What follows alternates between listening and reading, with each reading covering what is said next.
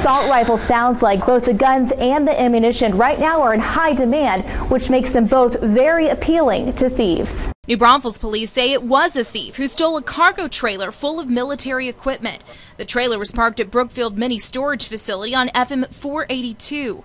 Inside were military uniforms, body armor, and ammunition for an AR 15. It's modeled after the typical military um, rifle that they use.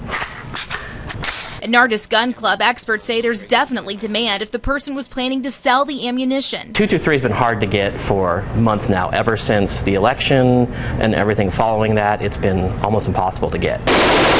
What used to be 30 or 40 cents a round is now a dollar or more, making under the table sales even more lucrative. It does fall into the wrong hands. You know, we need to keep it, you know, we don't want it to get into, be used against or used in a, a bad manner, of course. So uh, there is a safety issue there as well. The trailer was reported stolen Thursday. Its owner told police he had checked on it just a few days before.